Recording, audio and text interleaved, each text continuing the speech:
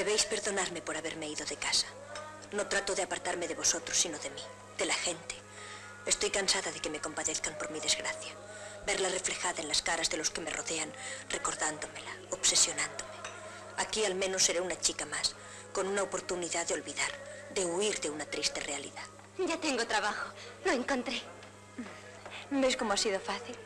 Ahí al lado, señor Bosch. Simpatiquísimo. Y parece soltero. ¿Joven? Mm. Figúrate como que me ha anticipado el sueldo.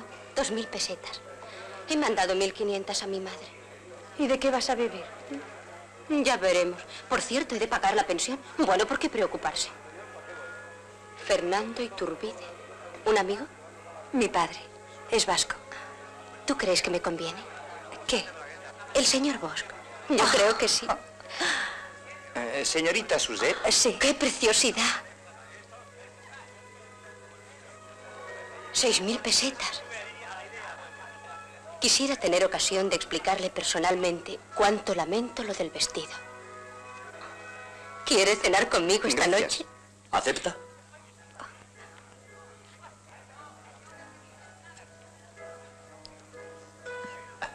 De acuerdo. ¿La recojo a la salida? Ah, gracias. Hasta luego. Se ve que es todo un caballero. Siempre he soñado con encontrar a un caballero. ¿El señor Bosch? Mm, Menuda diferencia.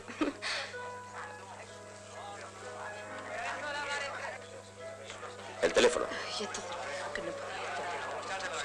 Desde luego, sí. Hola. Hola. Óigame. Joyería Rodríguez. ¿Está el encargado? Soy Alfredo. Sí, hombre.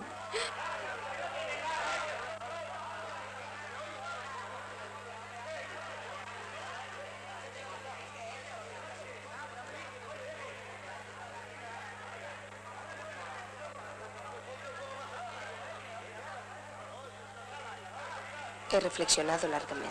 Debemos ser razonables y separarnos antes de que sea demasiado tarde. Te incluyo una pulsera granuja que te recuerde los buenos ratos.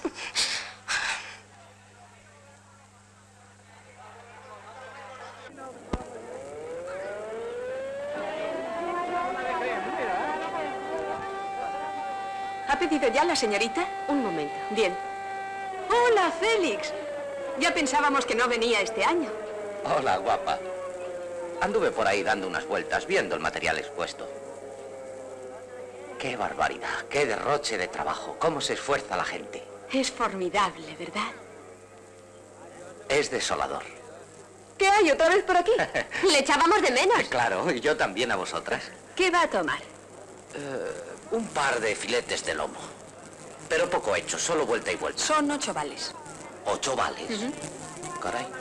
Ya han vuelto a subirlos. Y un bocadillo de salchicha. ¿Trae usted vales? No, Cinco pesetas. ¿Cerveza? Un vaso pequeño.